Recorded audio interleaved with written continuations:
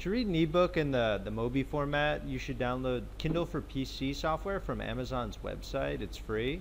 Uh, install the software on your hard drive, and uh, we'd like to pin it to our taskbar. You can access it anytime.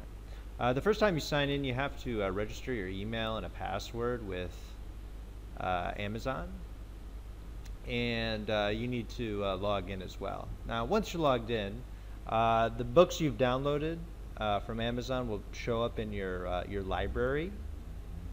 Uh, to access these books, it's pretty simple. You just double click on it, and then uh, once you open up your book, you can start reading.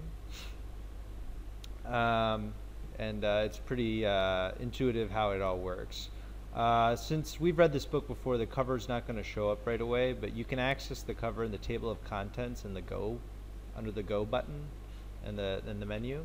And you can also do some things like adjust the font size, uh, you can adjust the line spacing and the brightness, and also change it from white sepia or black background. Um, you can also do full screen, uh, full screen mode, and uh, just click X to exit if you like.